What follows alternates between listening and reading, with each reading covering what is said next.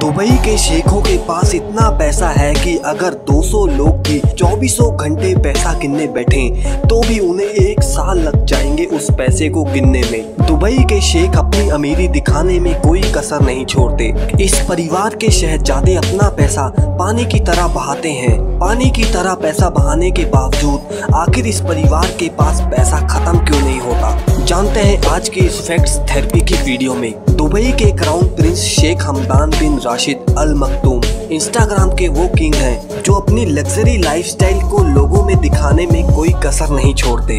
हम लोग अगर कोई बाइक या फिर कार लेते हैं तो वो भी ईएमआई पर ही लेते हैं। लेकिन ये तो चुटकियों में अपनी मनपसंद यॉट तक खरीद लेते हैं। इनके पास समरेल्डा नाम की एक यॉट है। जो अपने आप में एक चलती फिरती सेवन स्टार होटल है।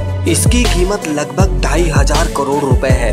ये जितना पैसा अपनी कार यॉट और अपनी लग्जरी लाइफस्टाइल पर खर्च करते हैं, उतने ही ये लोगों की हेल्प करने में भी खर्च करते हैं। दुबई के एक कैंसर पेशेंट ने सोशल मीडिया पर एक वीडियो शेयर किया, जिसमें वो शेख हमदान से अपने इलाज के लिए कुछ पैसे मांग रहा था।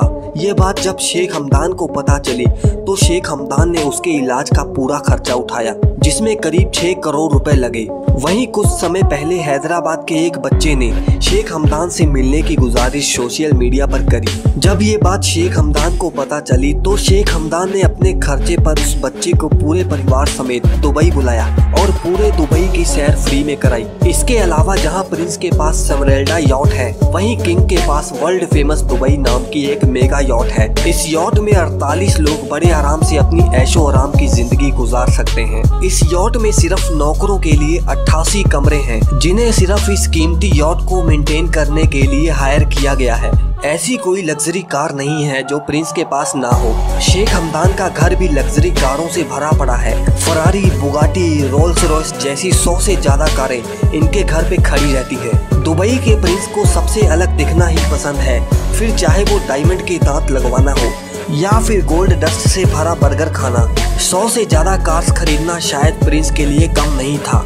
इसलिए उन्होंने अपनी आधी से ज़्यादा गाड़ियाँ 24 कैरेट गोल्ड यानी कि सोने से बनवाई है। सही में दोस्तों ये आम इंसान की ज़िंदगी और दुबई के शेखों की ज़िंदगी में ज़मीन आसमान का फ़र्क है। इसके अलावा दुबई प्रिंस के पास छह एम्फीबियस कार्स हैं, जो सिर्फ़ ज़मीन पर ही नहीं, बल्कि पानी पर भी चलती हैं। सिर्फ़ लग्जरी कार्स ही नहीं, बल्कि इनके पास टैंक्स का भी कलेक्शन भरा पड़ा है, जिन्हें वो दुबई की रेत में दौड़ाते रहते हैं। आपको ये जानकर हैरानी होगी कि शेख हमदान को एक बार एक ऊँटनी पसंद आ गई। शेख को वो ऊँटनी इतनी पसंद आई कि उन्होंने उस ऊँटनी की जितनी कीमत थी उससे हज़ारों गुना ज़्यादा कीमत देकर उस ऊटनी को खरीद लिया। उस एक ऊटनी की कीमत में शेख ने 40 करोड़ रुपए खर्च दिए थे। सिर्फ़ इतना ही नहीं, इस फैमिली के पास 12 बोइंग प्लेन्स हैं और देश विदेश में कई रॉयल प्रॉपर्टीज़ भी हैं। इस परिवार के लोग जब भी किसी देश विदेश में जाते हैं तो अगर वहाँ उन्हें कोई भी चीज़ या फिर कोई भी बिल्डिंग पसंद आ जाए तो वो उसे खरीद कर ही दम लेते हैं। फिर चाहे उन्हें दस गुना ज़्यादा कीमत ही ना देनी पड़े। आपका क्या कहना है इस फैमिली के बारे में? कमेंट सेशन में हमें अपनी राय ज़रूर बताएँ। और आगे भी ऐसी वीडियोस के लिए चैनल को सब्सक्राइब करना ना भूलें।